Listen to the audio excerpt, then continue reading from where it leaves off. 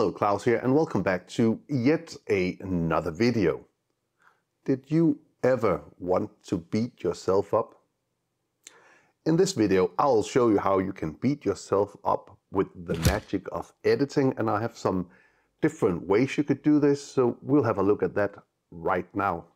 So when you've seen this video, you'll be able to do this thing. Beat yourself up and feel good about it. So let's get right to it. Okay, so um, let's get right to it. So for this uh, thing, we'll need uh, some different clips. We need a clip where I am actually hitting, and it's just in one shot. So first off, I'm just going to make a mark here. I'll just push M here to do a mark just for me. And then I'll just go forward in the clips here and I'll find a shot where I do react to a hit.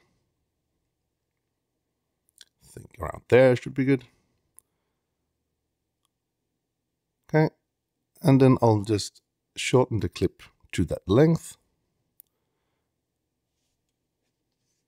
And I will just go to the arrow and then I'll just take away the sound of that and I'll just put it at my mark.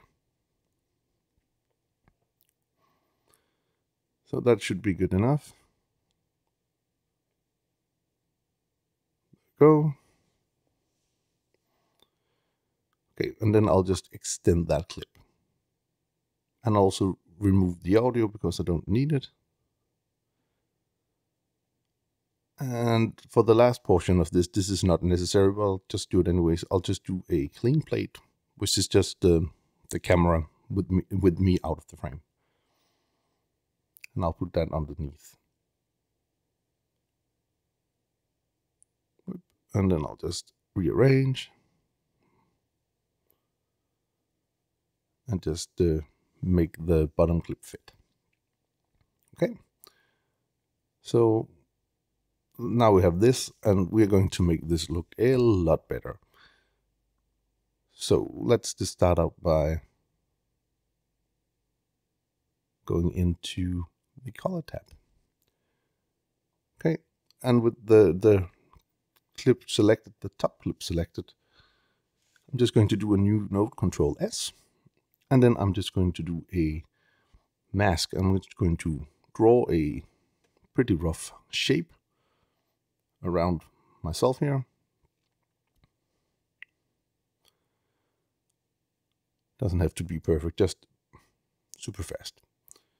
And then I'm going to add a alpha out by right clicking. And then I'm just going to drag this line down to the blue. And now we have combined the two pictures. And uh, now we just need to do a little bit of masking. And I'm going to put this on frame so I'll I'll put in the keyframes myself super fast here. And it doesn't have to be super perfect. I just need to make sure that wherever I am, I'll stay within the mask.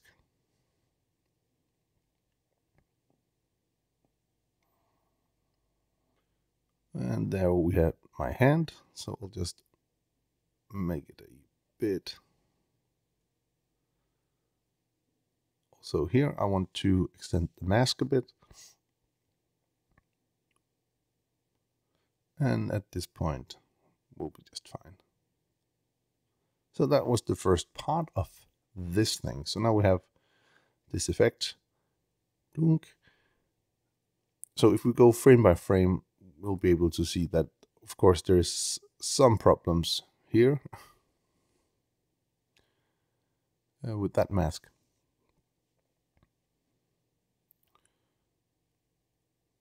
Let's go back to the color tab and uh, fix that little issue.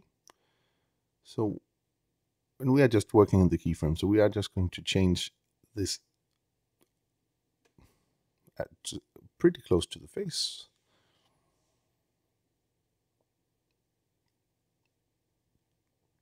Again, it is super fast, so most likely nobody will notice.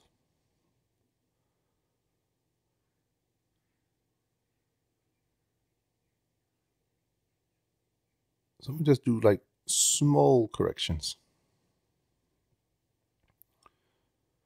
So, boink. There we have it. Well, that's one way of beating yourself up. So the second method here is a green screen shot, and I'll just do this inside the color tab as well. And it is a pretty bad green screen. It is just really not good. But um, it's just done outside, and it's it'll it'll work. Okay, so first off, we need a shot where I am making a punch, which is here. And again, the procedure is more or less the same as the other one. I'll I'll make in the mark by pushing the M. So now I did it on the clip. And then I'll need to do it again when there is a reaction. First off, I'm just going to cut the clip here and then I'm going to find my reaction shot. Mm, I think I did a couple. And I think the second one was the best. So now I have to find where the punch is. Around there somewhere. Okay. And then we're just going to delete that and I'm going to move this upward to the top track. I think that would work just fine. So, like that, and then we'll go back to the color tab. I'm just going to move this one up again, and then I am going to take the the clean plate I did the other place. I'm just going to use that, but I could use whatever, but I'm just using this now. Okay, and then let's just um, remove the top clip just a bit so we can see what we're doing. So. So let's go to the color tab. So in the color tab, we are going to choose the qualifier here. And I'm going over here and I will change that to 3D. And then I'm just going to do a line here. And as we see here, I'm going to invert our selection.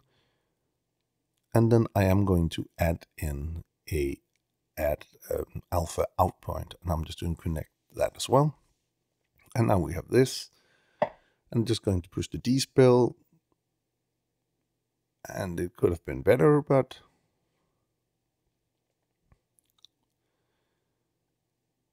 then I am just going to add in a mask and I'm just going to draw a quick shape.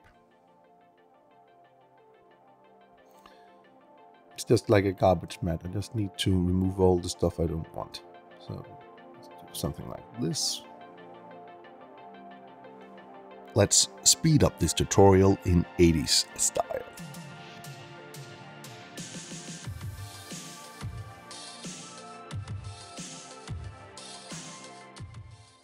Okay, and then with the mask done at, from the first green screen clip, we'll go to the second and we'll do the same thing.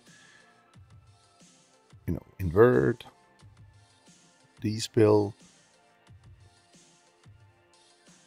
and then let's just do some denoising, clean the blacks and the whites. Something like so, and then we'll just do a garbage matte again.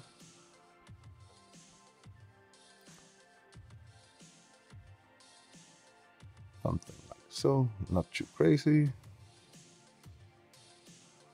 And then we are just going to put it onto frame. I'm going to put in a keyframe. I'll go to point like so. I'm just going to make it a little bit larger. And then I'm going to make it fit here again for the head.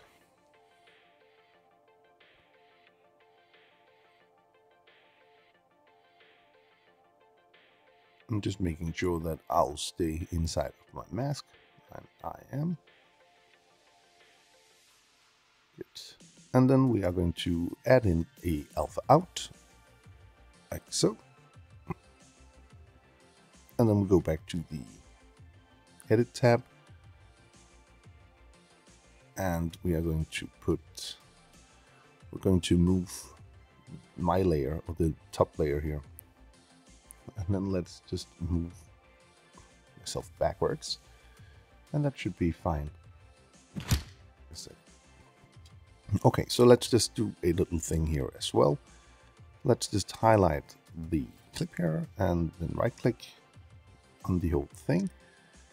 And then we just do a new compound clip. Because now we'll just, we'll just call this compound clip 1.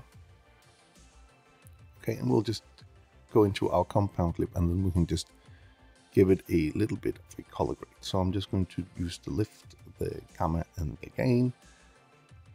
And basically I'm just going to add some contrast.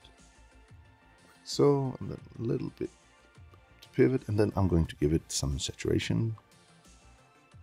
And then I'll just go to the second layer here and in the temperature I am going to make this a little bit more warm, not so much, something like so and I'm going to mess around with the tint a little bit. And then I am just going to give it a little bit of color boost. So that's a, a quick grade. Anyway, I do hope you found this video useful. If you did, please hit that subscribe button, give the video a like, share it with your friends if you think it will help them out. And if you want to be notified every time there's a new video on the channel, please hit that bell icon down in the corner. Until next time, keep filming, keep learning, and keep sharing.